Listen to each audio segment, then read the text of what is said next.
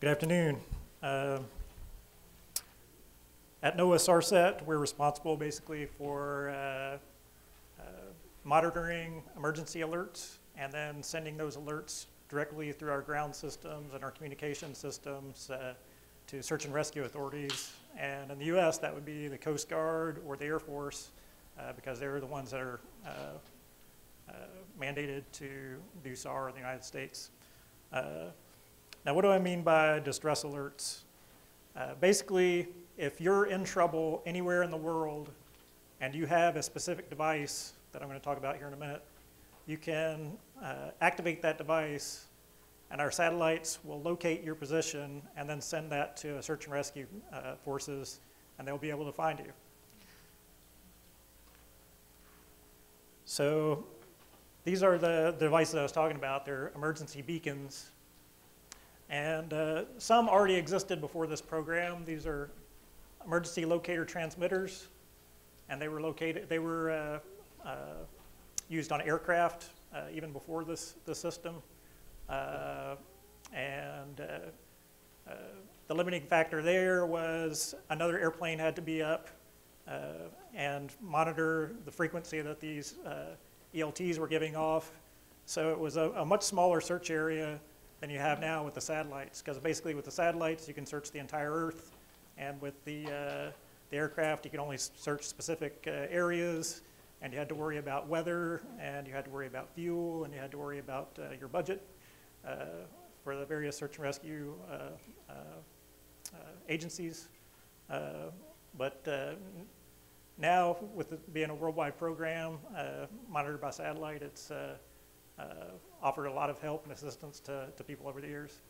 And uh, the different types of beacon have, beacons have grown. Uh, instead of just aircraft now, they have beacons for ships. These are called EPIRBs, Emergency Position Indicating Radio Beacons.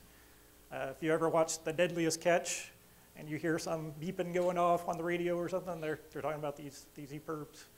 Uh, and now even individuals, like if you're a hiker going off in the Grand Canyon, or if you're a skier out in the uh, Rocky Mountains, or a kayaker, uh, you know, down in the Florida Keys or something, you can wear one of these on your person. So if you get in trouble, that you can activate it, and somebody will come find you.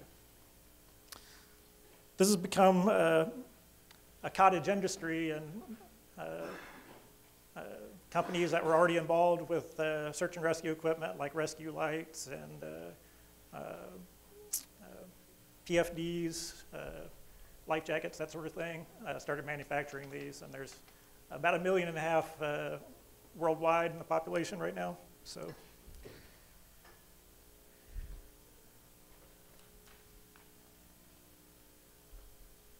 So some other advancements that have happened since you know the experiments with Nimbus.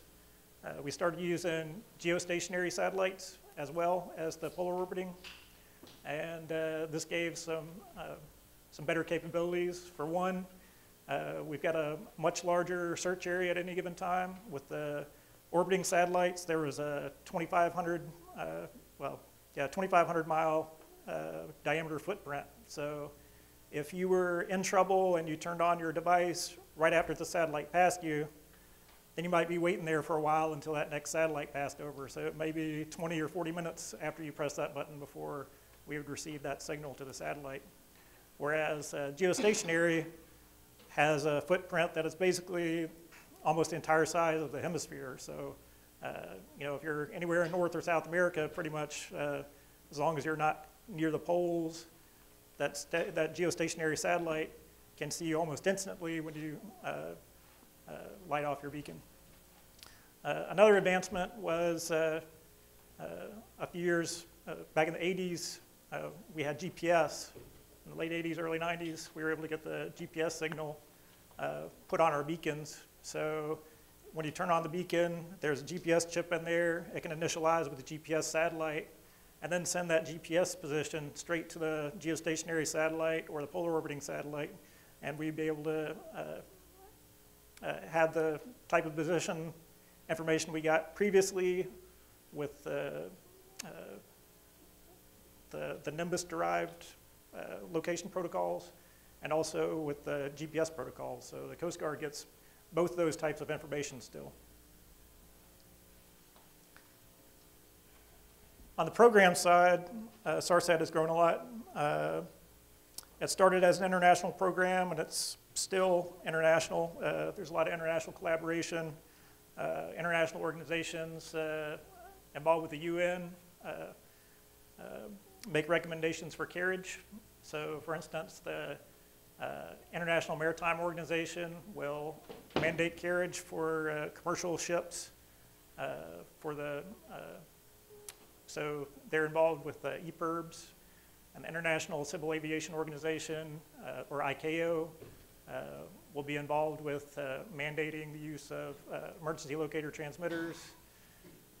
And then you have the International Telecommunications Union, ITU, which basically tells you know, the, the world to stay away from that uh, 406 megahertz frequency is, which, is what our, our beacons use and it protects that frequency from radio stations and uh, communications companies from using that frequency. So it's dedicated for, for search and rescue throughout the world.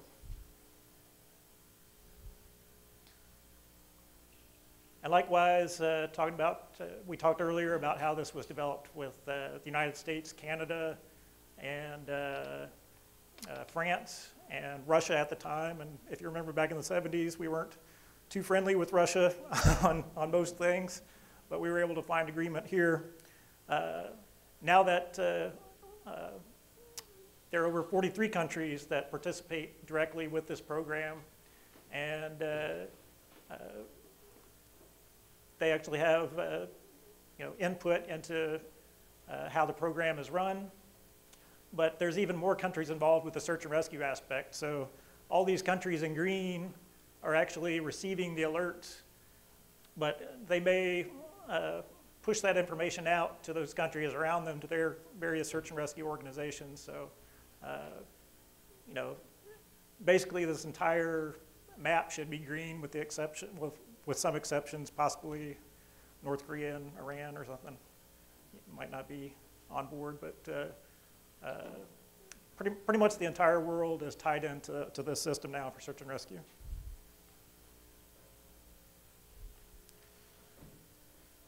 Then on a national level, you know, several agencies govern its use. Uh, uh, NOAA has oversight now. Uh, NASA developed it, but since they were weather satellites under the auspice of, of NOAA, uh, that SARSAT program uh, became uh, came under under us.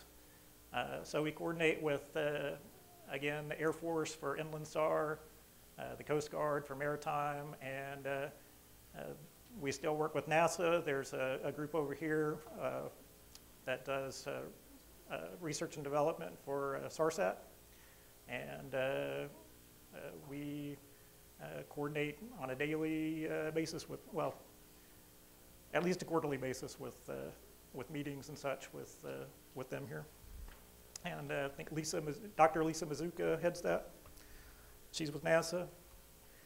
And then uh, on the flip side, uh, SARSAT is directly involved with uh, the National Search and Rescue Committee, and uh, we're involved with the National Search and Rescue Plan. Uh, so we, we advise uh, them with SARSAT developments. SARSAT has been seamlessly integrated into the search and rescue community within the United States. Uh, you can see here the Air Force and the Coast Guard have lines drawn for their responsibilities. Uh, here are the various Coast Guard districts here. And uh, what happens is when we get an alert, it goes through our, our servers electronically so we don't even see it. Uh, and then it goes to the Air Force and Coast Guard search and rescue uh, uh, programs. So here you see a screenshot of the Coast Guard's uh, search and rescue program that they use. And these are actual alerts that are from our satellites that just pop up on their screen. And they'll, they can uh, gather all the information uh, right at their fingertips.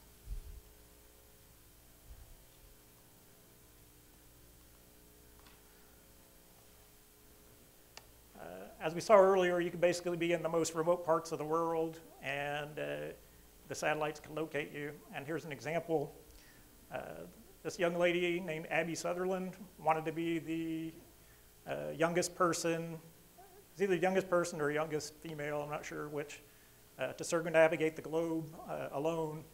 So she set out and she made it all the way to the South Indian Ocean. And then she got involved in this huge storm with uh, 30 and 40 foot seas. Uh, her boat rolled over several times, went underwater several times, popped back up. Uh, her mast broke in half, and she lost uh, most of her communications. She had a sat phone, but uh, for some reason wasn't able to, to use it to call out. But she did have the EPIRB, and it did what it was supposed to do, and uh, they were able to find her. So we were talking about remoteness.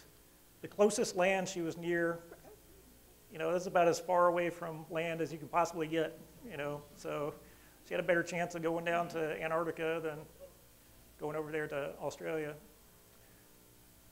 Anyway, she was uh, so grateful. She came by to visit us at her office in Suitland and to learn more about the system. So uh, here's our, our building here.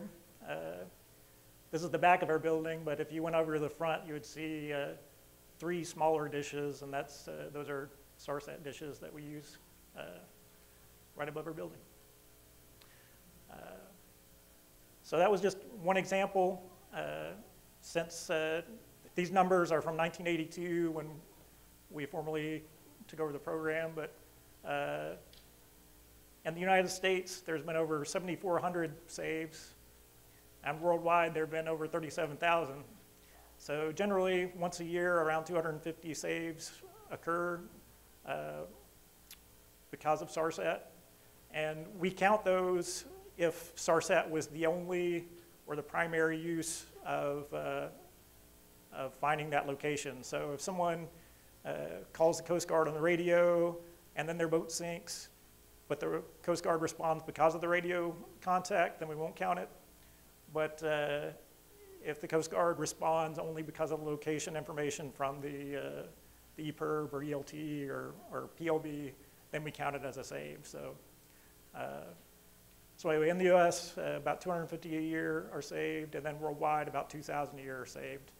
And that number keeps going up with the amount of beacons that are uh, bought per year. So uh, uh, it's getting you know, even more and more as the beacon population increases. There's NOAA is reaching, well, our NOAA weather satellites are reaching the end of their service life.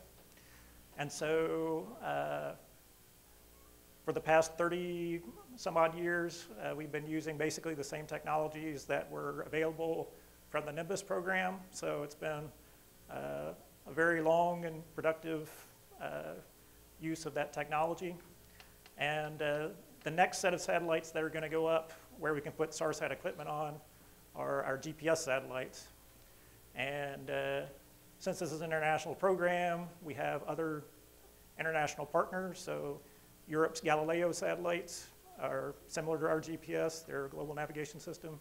We'll have this on it as well, and uh, the Russian GLONASS uh, system will also have it, and that's Russia's version of GPS. It's their uh, uh, positioning system. Uh, what this will give SARSAT is better location availability. when these satellites are up, uh, there will be about 72 satellites in the, in the, in the constellation.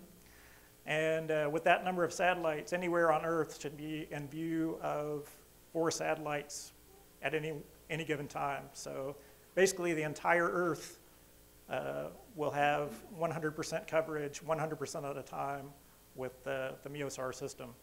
So as soon as someone turns on their beacon now, then almost instantly we'll know within a couple of meters where someone is versus a couple hundred uh, yards or a couple, you know, several kilometers. So, you know, we've gone from several kilometers to several hundred yards to two or three meters of accuracy, and uh, the timing keeps getting better too.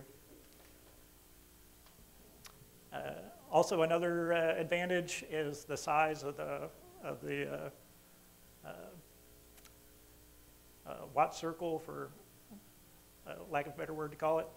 Uh, if, if you see the, uh, the polar orbiting satellites, that's that 2,500 mile diameter. Here you have almost as large of diameter as the uh, geostationary satellites. And then imagine 72 of those overlapping each other. So uh, much more capability. So we've had a 30-year run of using the, the uh, uh, Nimbus technology, and now we're reaching the end of that and going ahead for 30 more years. And it's all thanks to NASA and their development team. And uh, we certainly uh, are better off for having it. So thank you.